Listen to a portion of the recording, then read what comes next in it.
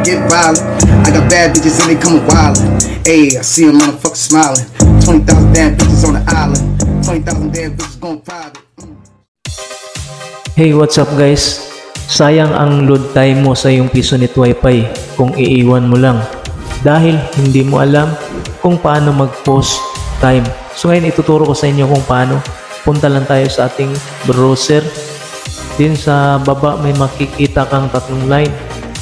Tap mo yan. So hanapin mong bo- bookmark history. So tap mo yan. So sa right side may makikita kang history. So tap mo yan. So dito hanapin mo ang today. Tap mo.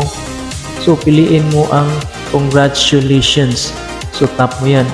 So yan dito guys may makikita kang may makikita kang add time, post time. So ha, piliin mo ang post time. Tap mo yan dahil i-post natin yung ating ah, time.